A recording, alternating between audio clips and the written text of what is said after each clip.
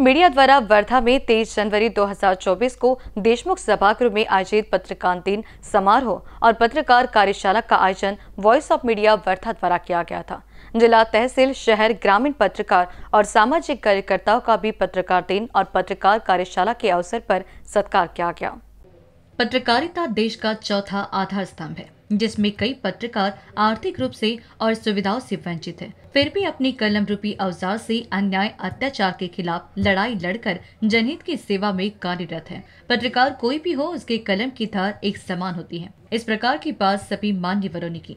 Voice of media Wardha द्वारा अध्यक्ष श्री किशोर करंजेकर और वर्धा जिला वॉइस ऑफ़ मीडिया ने पत्रकारों के हित में एक बेहतरीन कार्यक्रम का आयोजन किया था, जिसमें वॉइस ऑफ़ मीडिया के राज्य विदर्भ स्तर के सभी बड़े पदाधिकारियों की उपस्थिति थी, जिन्होंने पत्रकारिता करने वालों को उचित मार्गदर्शन दिया। इस वक्त सत्कार समारोह में हिंगनघाट के पत्रकार रमेश लोंढी, हाजी मोहम्मद रफीक, अनिल कड़ू, नईम मलक, प्रमोद जुमड़े सभी को शॉल, श्रीफल, स्मृति चिन्ह और पुष्प गुच्छ देकर सम्मानित किया गया। इस शुभ अवसर पर न्यूज़ एटीन के दिल्ली ब्यूरो चीफ प्रशांत लीला रामदास कार्यक्रम की अध्यक्ष थे। प्रमुख वक्ता सरपंच भास्कर पेरी पाटिल थी। Voice of media Wardha Arvi Deoli Hinganghat के सभी पदाधिकारी इस वक्त उपस्थित थे। इन न्यूज़ के लिए हिंगन घाट से रवि यनुरकर की रिपोर्ट।